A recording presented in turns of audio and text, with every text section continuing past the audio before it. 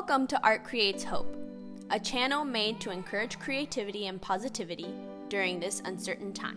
In today's video, we'll be learning about the Rainbow Art Challenge and creating our own rainbow art. Today's featured artist is you!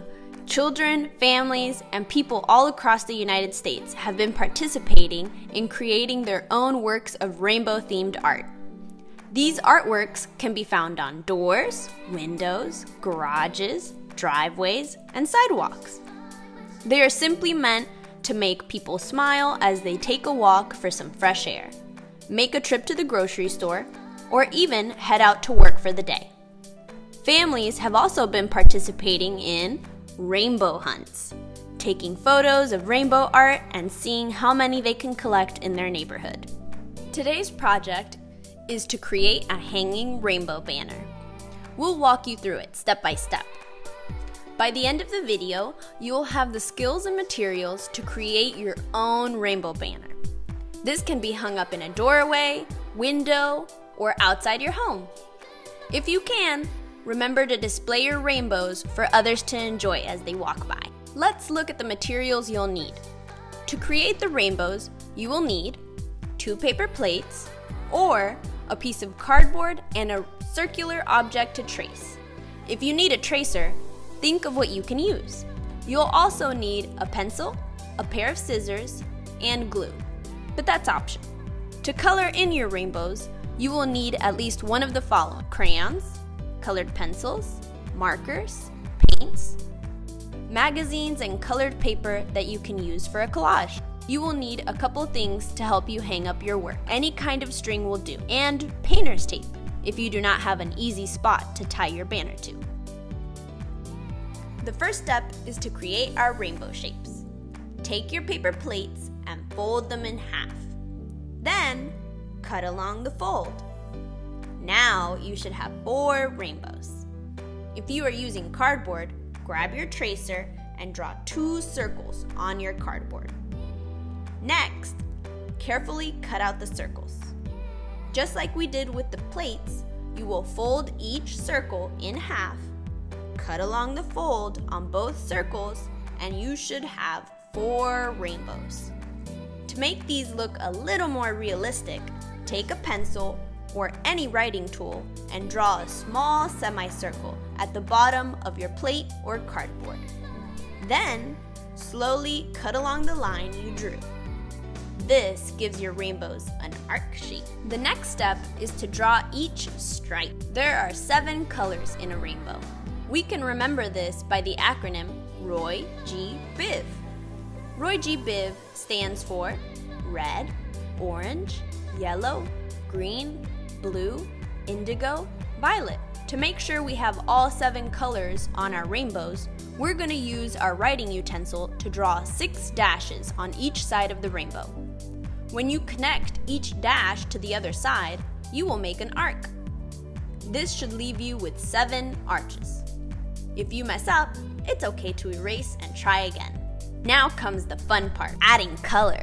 Gather any materials you would like to use. This can include crayons, markers, colored pencils, paints, tape, or stickers, paint chips, magazines. The possibilities are endless we will show you a few different options. Before you start, you can take a moment to pause the video and put on your favorite music or podcast while you work. This can make the process even more relaxing and enjoyable. First, let's start with regular old coloring. You can color with any of these supplies. We're going to start with crayon.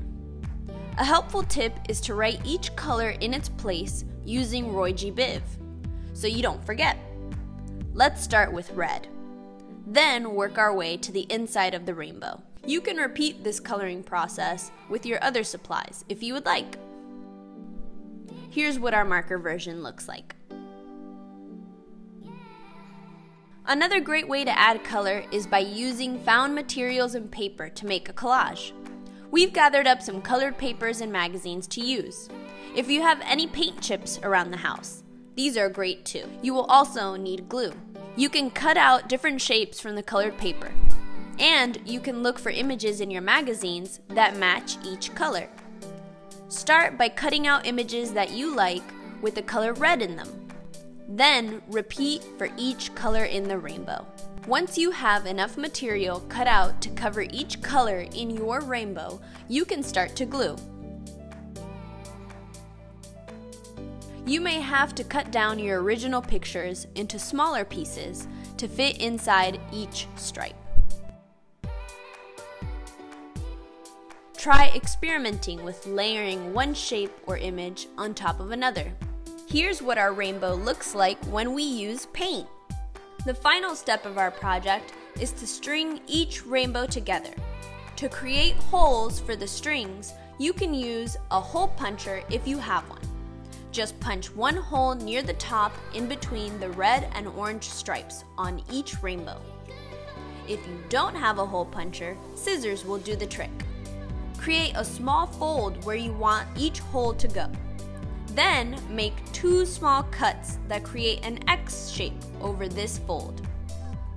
Grab your ribbon or string and any tape you have access to. Cut a piece of string that's long enough to hang all of your rainbows on, plus enough extra to give us some breathing room between the rainbows. String the ribbon through each hole tying a knot every time to keep your rainbows in place. And there you have it, our finished rainbow banner. Now it's time to hang up your beautiful work. You can tie the top of the string if your windows or doors allow that. Or you can use a few small pieces of tape to hang it like we did. Thank you so much for joining us today. We hope you enjoyed making rainbow art with us. Want to get connected with Art Creates Hope? Join our Google Classroom by signing in and entering our class code KA6AHPY. Here, you can share your artwork with us and have access to additional arts resources like discussion questions, demo videos, and more. Remember to leave us a comment and subscribe. We'll see you next week with another art lesson.